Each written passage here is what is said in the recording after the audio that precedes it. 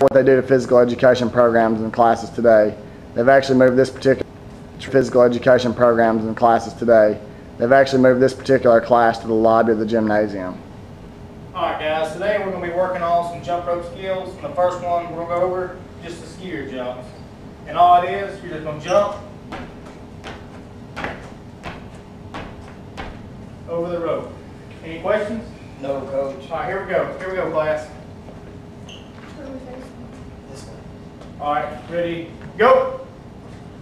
Good job, please. Good job.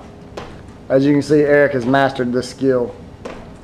Brandi's having just a little trouble because she's never had a physical education class. Come on, Brandi. Jump, two feet. Both feet. Feet. Both feet don't go together. Alright, let's go to something different. Maybe she can do better. Alright, the next skill we're going to work on is just the basic traditional jump rope. And I'm going to get Eric to demonstrate that for us. Go ahead, Eric. And that's what we're going to be working on today, class. Alright, Eric, if you will, back up just a little bit. Give Brandi some room. Alright, y'all get ready to go together. On my sound. Ready, go! Good job, Eric. Come on, Brandi. Jump the rope. Both feet. Come on, Brandi, you can do it. Nice work, Eric. Come on, Brandi, you can do it. Let's try scooter skills. Maybe Brandi can master that. Can I go downstairs and get something to eat? No, Brandi, come on. As you can see, Brandi had just a little trouble with the last activity. She's actually fallen asleep after the first one. All right, class. The next thing we're going to work on is going to be the scooter skill. Brandi, wake up. Get up. I'm so tired. I know you're tired. Let's go, though. All right, we're going to be working on the alligator crawl. So I both of you to put your stomachs on the scooter. Y'all go ahead and get, get in position. Go ahead and We get down, never Brandi. Lay down. You're going to use your arms and you're going to crawl like you're an alligator on my sound. Ready, go. Good job, Eric. Come on, Brandi, pull yourself. Come on, Brandi.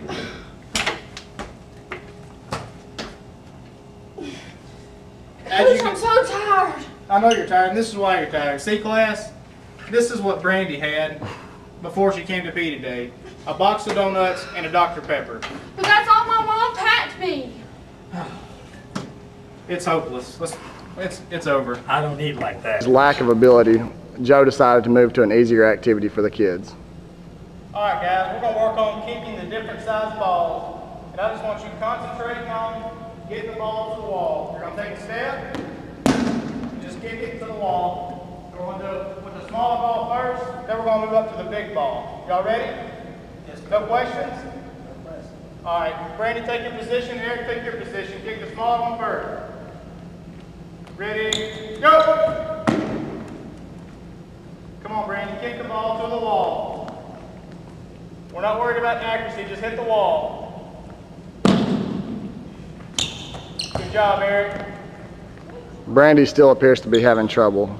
Thinks she needs a physical education program. Let's move to the bigger balls now. Thank you.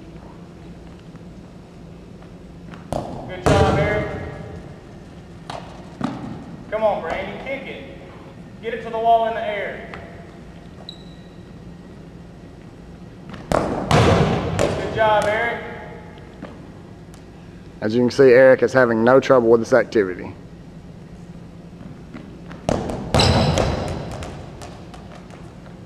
This is hopeless. Let, let, let's go try something else. This is, this is hopeless.